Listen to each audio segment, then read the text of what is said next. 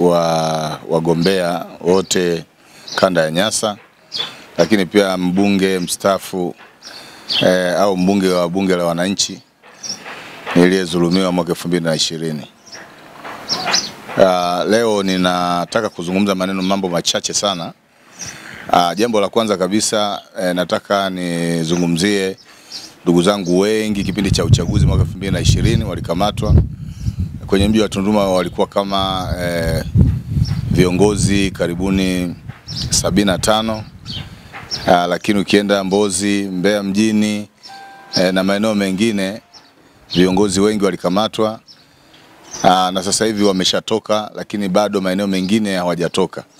Nikupe mfano mmoja tu eh, kwa mfano kama Njombe eh, ndugu yetu George pale bado ambaye alikuwa ni mwenyekiti wa vijana mkoa wa Njombe bado hajatoka, bado yuko ndani na wengine wengi na maeneo mbalimbali.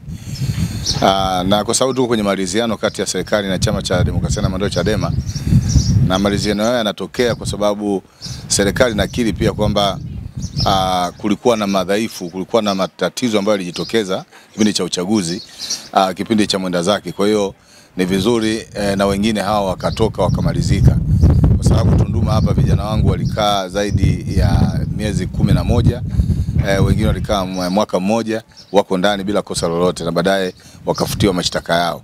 Hasa rai yangu ni kwamba e, wakati tunaendelea na maliziano e, serikali itaangalia kwa uzito mkubwa kuhakikisha kwamba na waliobakia nao wanafutiwa e, kesi zao ili warudi uraiani kujenga nchi. Maliziano na mambo mengi ni lazima e, tufikie huko ambako tunatarajia, lakini pia nitoe rai sana kwa serikali. Uh, tumepitia kwenye mazila makubwa sana, na kwa sababu nchi yetu ni nchi ya kidemokrasia ya mfumo wa vyama vingi.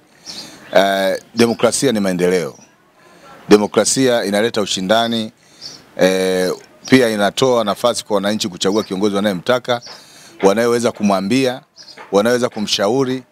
Eh, kwa demokrasia sio sio janga. Demokrasia eh, tukubaliane kabisa kwamba ni maendeleo. Demokrasia inaleta ushindani na ushindani siku zote ni maendeleo.